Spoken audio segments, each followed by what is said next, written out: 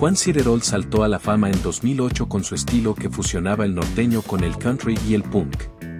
Sin embargo, su carrera se vio empañada por una polémica en las redes sociales por un comentario sobre el terremoto de 2017 en la Ciudad de México.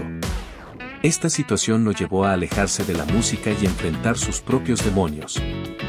Durante su retiro, Cirerol trabajó como barrendero, experiencia que lo ayudó a reflexionar sobre su vida y enfrentar la realidad. Según él, su cerebro estaba acalambrado después de años de abuso de sustancias, pero ahora, a los 35 años, Cirerol está listo para volver al mundo de la música con renovadas energías y una perspectiva más sólida. ¿Cuál es tu canción favorita de Cirerol? Cuéntanos en comentarios.